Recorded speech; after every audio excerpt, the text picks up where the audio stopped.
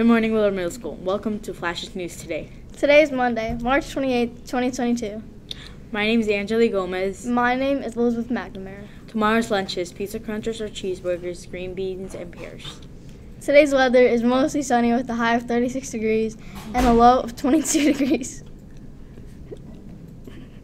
Willard Middle School yearbooks are for sale now. They are $25 and forms are in the office. Spring pictures are this Wednesday, March 30th, and anyone who would like an order form, please stop down in the office. Today, the track meet is canceled. JV baseball plays at Clyde at 40, 4:45. Varsity baseball hosts Clyde at 4:45. Varsity and J, JV softball hosts Clyde today at 4:45. Ohio sports news. The Cavs lost against the, against the Chicago Bulls Saturday. The Ohio State women's basketball lost to Texas on Friday, 63 to 66.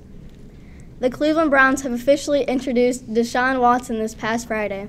He is guaranteed $230 million to be a Browns quarterback for the next five years. That is the most guaranteed money in NFL history.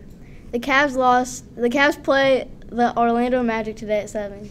Today in history, 1981, USA President Ronald Reagan is shot in the chest outside a Washington, D.C. hotel.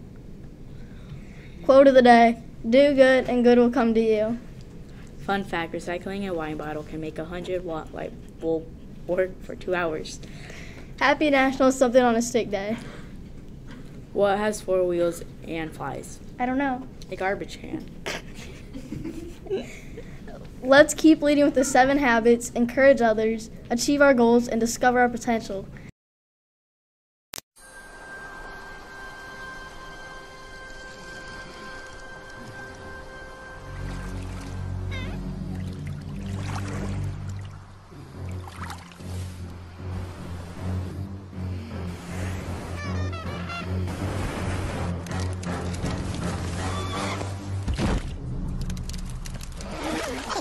It's smarter to travel in groups.